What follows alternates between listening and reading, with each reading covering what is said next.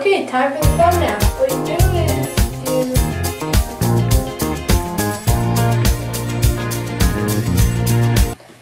Okay, today I'm going to show you how to make water glow. You see what you have to get now.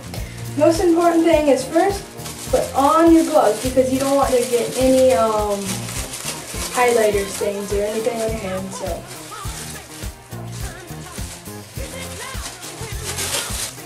So I got my gloves on, and now what you're going to do is take your highlighter and take your knife, and you're going to just try to pop it open somehow.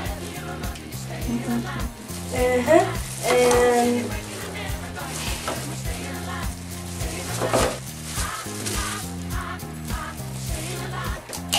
Okay, see? Just got that up. Now you're going to be using that. What you're going to do is cut down the middle of it. Okay. And now what you're going to do is start squeezing it in there. And then you're going to put your cup down there. Fill it up with a little water. Soak that in there so good and just let it for a second and see how it's changing a different color? And just wait for it. Maybe I'll put a little bit more water in.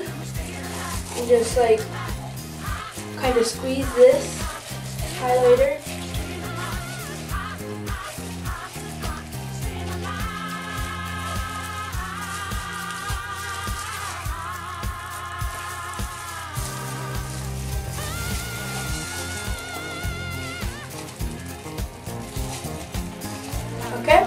I got that now. Now you can see there, it's that color. Now what I'm going to do is turn the lights off and turn the um, uh, um, the black light on.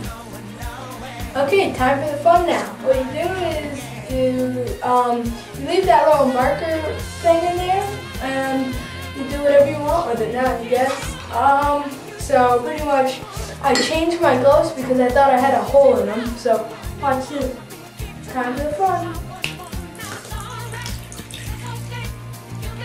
You can even put it on your tongue.